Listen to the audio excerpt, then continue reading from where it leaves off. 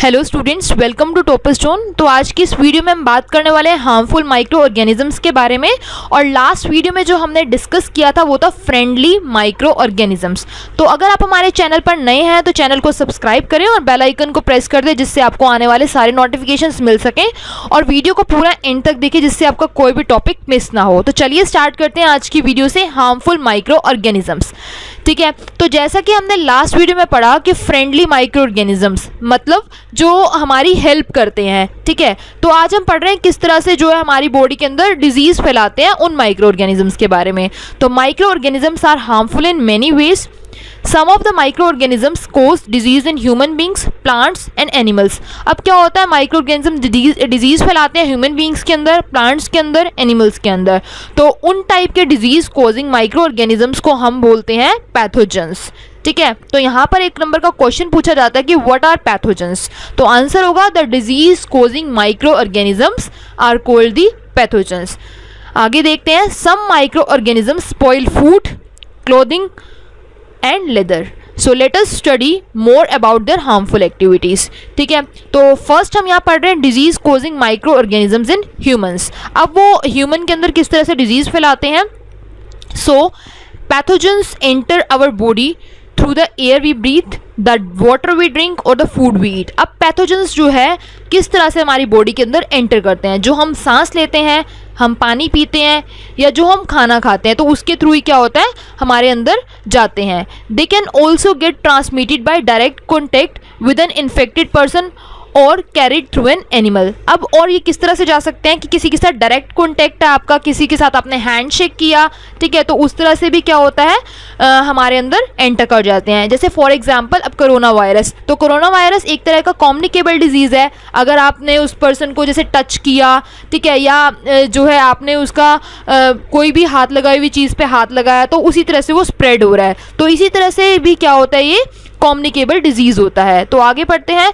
Microbial diseases that can spread from an infected person to a healthy person through air water food और the physical contact are called the communicable disease अब यहाँ पर ये बहुत ही ज़्यादा important question है कि व्हाट आर कॉम्युनिकेबल डिज़ीज़ तो कॉम्युनिकेबल डिज़ीज़ वो डिज़ीज़ होते हैं जो एक इन्फेक्टेड पर्सन से मतलब एक बीमार इंसान से एक हेल्दी पर्सन मीन्स जो एक बिल्कुल ठीक आदमी होता है, उसके अंदर जाते हैं। ठीक है? तो ये होते हैं communicable diseases examples of such disease include cholera common cold chicken pox tuberculosis और आप यहाँ पर कोरोना वायरस भी कह सकते हैं, ठीक है? तो ये कुछ डिज़ीज़ होते हैं जो बॉडी के अंदर जो है ट्रांसफ़र होते हैं इन्फेक्टेड पर्सन से हेल्दी पर्सन में, ठीक है? आगे देखते हैं when a person suffering from common cold sneezes fine droplets of moisture carrying thousands of viruses are spread in the air मान लो किसी पर्सन को मतलब कॉमन कोल्ड है तो उसने एकदम से छींक मारी। तो उसके इतने सारे ड्रॉपलेट्स आए और वो एयर में गए और वही जो है वो हमारे पास एंटर कर जाते हैं।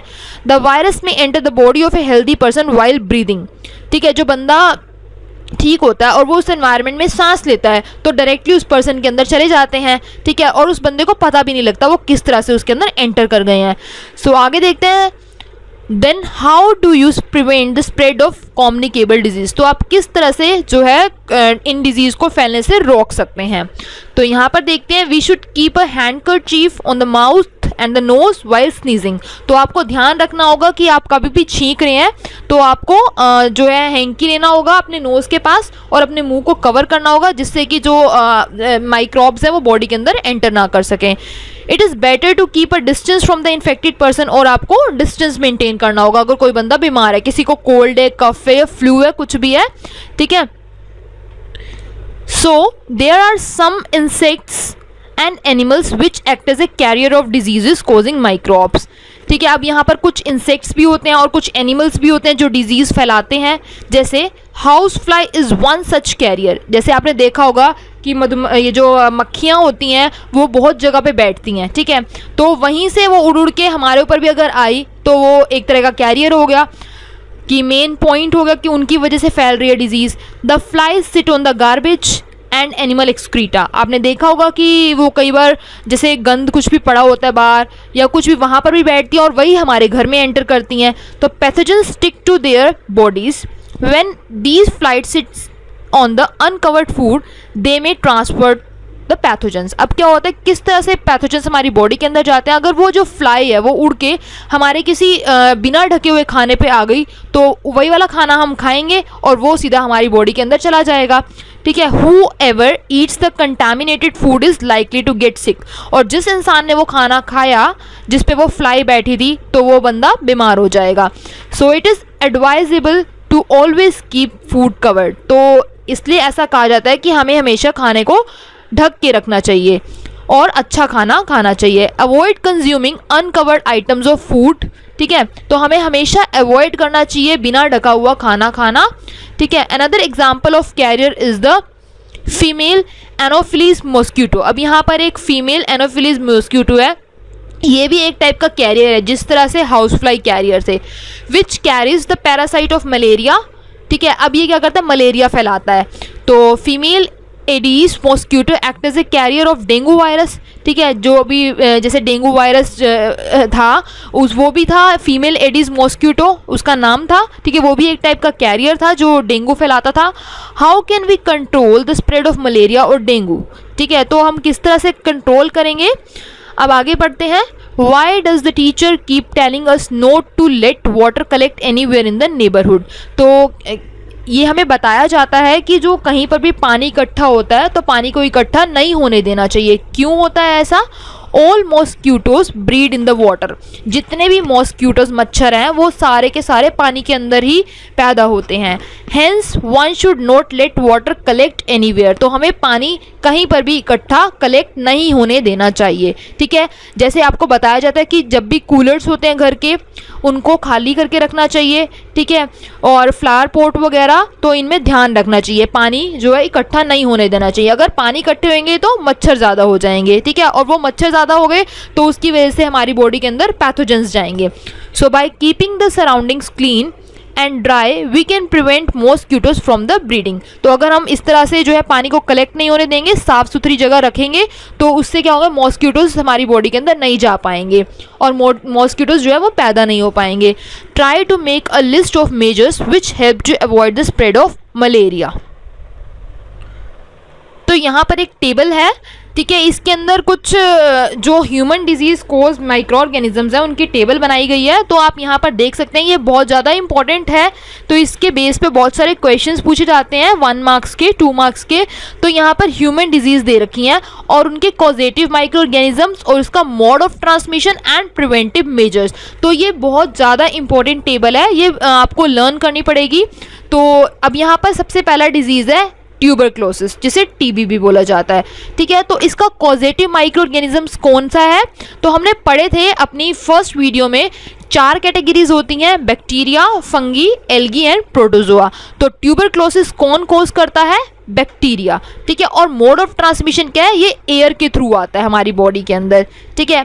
इसी तरह से जो नेक्स्ट है, वो है मीजल्स अब ये किसके थ्रू होता है? वायरस के थ्रू और इसका भी जो मोड ऑफ़ ट्रांसमिशन है, वो है एयर ठीक है? अब इसके प्रिवेंटिव मेजर हम पढ़ेंगे बिकॉज़ वो कॉमन होते हैं। अब आगे क्या third one is chicken pox ठीक है? तो इसका जो पॉजिटिव माइक्रो ऑर्गेनिज्म है वो है वायरस और पोलियो है फोर्थ और उसका भी पॉजिटिव माइक्रो ऑर्गेनिजम्स कौन सा है? वायरस अब ये सारे ही जो है जो ट्यूबर क्लोसिस था और मीजल्स था वो एयर के थ्रू फैलता है। और चिकन पॉक्स पोलियो भी एयर के थ्रू फैलता है, लेकिन जो चिकन पॉक्स है वो कॉन्टेक्ट के थ्रू भी हो सकता है और पोलियो जो है वो वाटर के थ्रू भी हो सकता है। तो यहाँ पर एक बार देखते हैं कि इसको किस तरह से प्रिवेंट किया जा सकता है। Keep the patient in complete isolation ठीक है पेशेंट को बिल्कुल ही अलग सेपरेट रूम में रखना चाहिए आपको।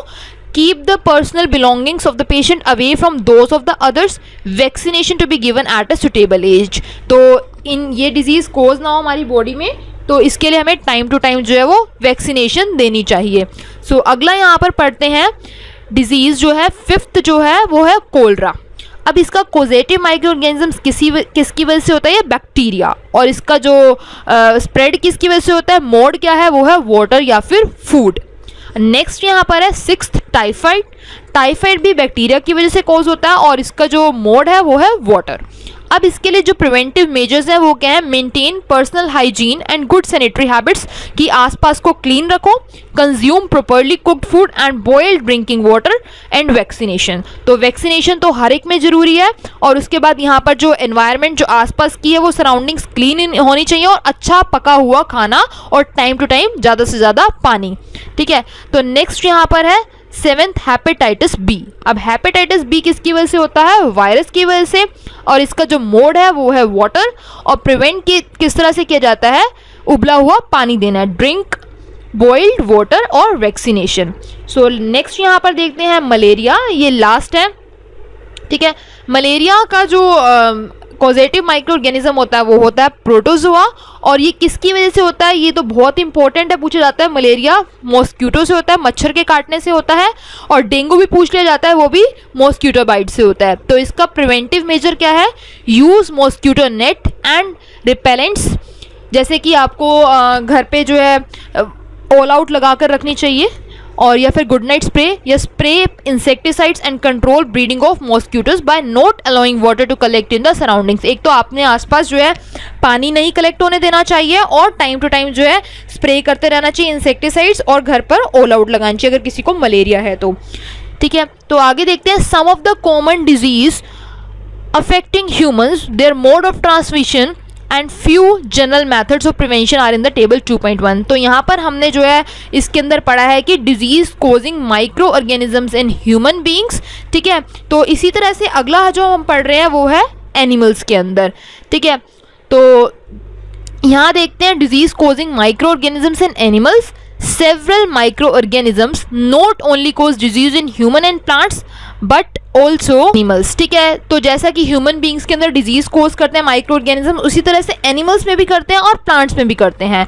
तो for example anthrax is a dangerous human and cattle disease cause by a bacterium food and mouth disease of cattle is cause by a virus तो ये कुछ जो माइक्रो ऑर्गेनिजम्स एनिमल्स के अंदर होते हैं, वो ये हैं।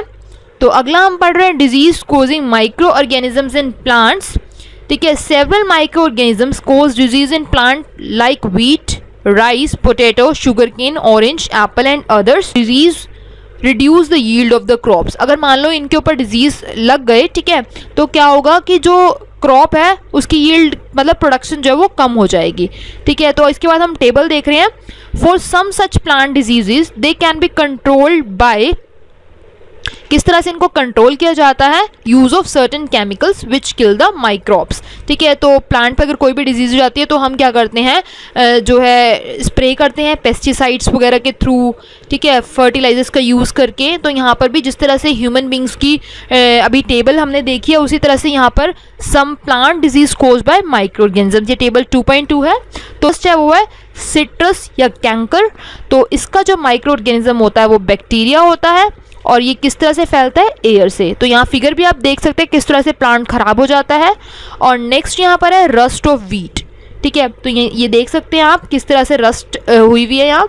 और इसका बैक्टीरिया इसका जो माइक्रो ऑर्गेनिज्म होता है, वो होता है फंगी और ये किसकी वजह से होता है? एयर की वजह से या फिर सीड्स की वजह से। अगर हमने सीड्स सही नहीं डाले उसके अंदर। तो नेक्स्ट है third one last yellow vein mosaic of bhindi okra virus होता है इसका। और ये क्या होता है, किसकी वजह से फैलता है? इंसेक्ट तो आप यहाँ पर पिक्चर देख सकते हैं किस तरह से कोज हुआ हुआ है। ठीक है? तो इसके अंदर नेक्स्ट टॉपिक हम पढ़ रहे हैं फ़ूड पॉइजनिंग तो ये बहुत ही ज़्यादा इंपॉर्टेंट टॉपिक है फ़ूड पॉइजनिंग तो पढ़ते हैं Boojho was invited by his friend to a party and he ate a variety of food stuff तो एक बार बोजो को इन्वाइट किया उसके फ्रेंड ने, ठीक है? और वहाँ पर बहुत सारा अलग अलग डिफरेंट काइंड के अच्छे अच्छे फ़ूड थे।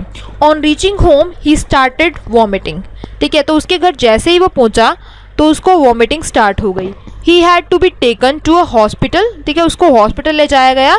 The doctor said that this condition could be due to the food poisoning अब बार बार वॉमिटिंग आना तो इसका मतलब क्या है? उस इंसान को फ़ूड पॉइजनिंग हुई है।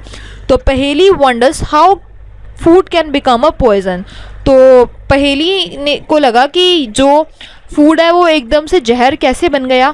ठीक है food poisoning could be due to the consumption of food spoiled by some microorganisms अब फ़ूड पॉइजनिंग किस तरह से होती है कि कोई इस तरह के माइक्रो ऑर्गेनिजम्स उस पर आ गए हैं? जैसे हमारा खाना या तो ढका हुआ नहीं होगा, या फिर इस जो है क्लीन एरिया में नहीं बना होगा ठीक है?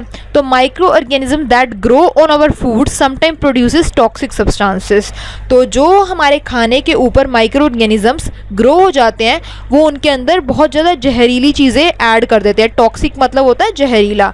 So these make the food poisonous causing serious illness and even death तो फ़ूड पॉइजनिंग से क्या होता है कि बहुत ज़्यादा इंसान बीमार हो जाता है और यहाँ तक कि उसकी डेथ भी हो सकती है। So it is very important that we preserve food to prevent it from being spoiled तो हमें हमेशा खाना जो है, बहुत साफ़ सफ़ाई वाला खाना चाहिए और हमेशा प्रिजर्व मतलब बचा के रखना चाहिए खाने को माइक्रो ऑर्गेनिजम्स से। तो ठीक है, आज की इस वीडियो में हमने पढ़ा है कि हार्मफुल ऑर्गेनिजम्स किस तरह से जो है माइक्रो ऑर्गेनिजम्स हमारे को जो है डिज़ीज़ कोज करते हैं या फिर एनिमल्स को प्लांट्स को और ह्यूमन बींग्स को. So thank you for watching this video अगर आपको वीडियो अच्छी लगी तो please like share and comment